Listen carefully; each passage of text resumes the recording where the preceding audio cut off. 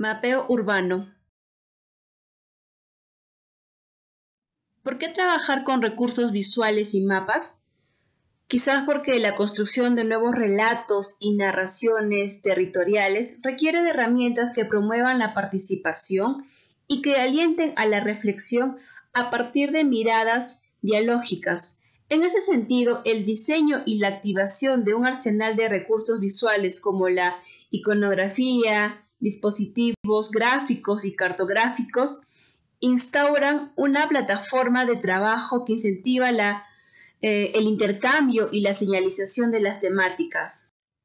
Mapear proviene de la palabra de mapa, que es localizar y representar gráficamente la distribución relativa de las partes de un todo, como los genes en los cromosomas. Es hacer mapas, trasladar un mapa a sistemas o estructuras conceptuales.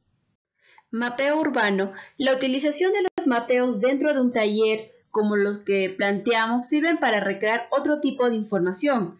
Ayuda a situarse en el espacio de la comunidad, de pensar lo común y de corresponsabilizarse de los problemas. El trabajo en los talleres nos ayuda a simular la participación para una solución colectiva y comunitaria.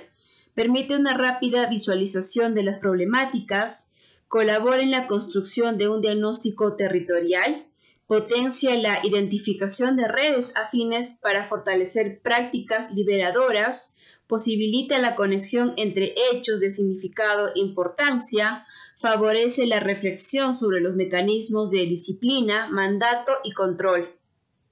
Mapeo de Ajit-Pop se ciñe a temáticas específicas que se profundizan durante una jornada de cuatro o seis horas aproximadamente, con miras a lograr objetivos de corto plazo y a resolver cuestiones acotadas al espacio y a las personas intervenientes. Puede ser implementado también como una herramienta que acompañe y potencie eventos o convocatorias. Los pasos para realizarlo son la preparación del taller, presentación del trabajo a desarrollar, trabajo en equipo y puesta en común. En la preparación del taller es eh, conversar lo que serán las temáticas a abordar y sobre qué territorio se va a trabajar. Presentación del trabajo a desarrollar. Las organizaciones introducen a la actividad que se desarrollará en el taller, si van a ser problemáticas, algunos objetivos, espacios de oportunidad.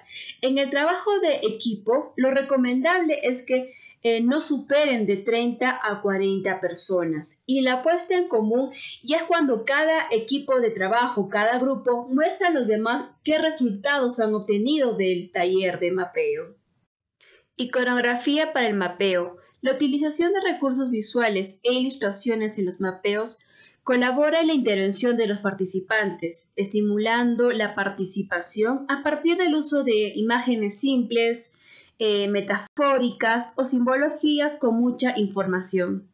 Un caso práctico fue la propuesta de intervención del Distrito de la Ribera, provincia de Huancayo. Se desarrolló mediante mapeos como la iconografía de comercio, residencial, natural, sociocultural, la accesibilidad e interacción con el entorno, contaminación, peligros y patrones de asentamiento, identificando la problemática de dicho sector para luego desarrollar la propuesta. En conclusión, el mapeo urbano es localizar y representar gráficamente la distribución relativa de las partes de un todo, utilizando recursos visuales e ilustraciones contando con la participación, preparando los mapeos y lo importante, el trabajo en equipo.